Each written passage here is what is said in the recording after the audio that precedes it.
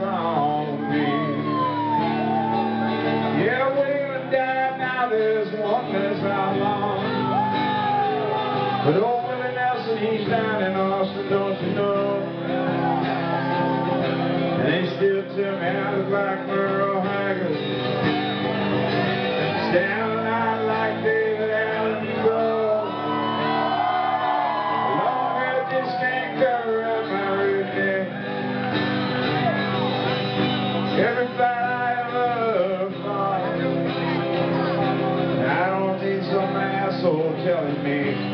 play too much rock and roll.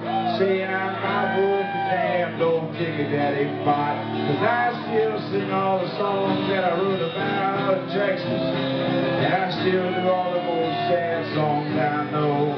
I guess I do play blues and rock, country music and hip hop. But the reason they don't like me is because I say motherfucker everywhere I go.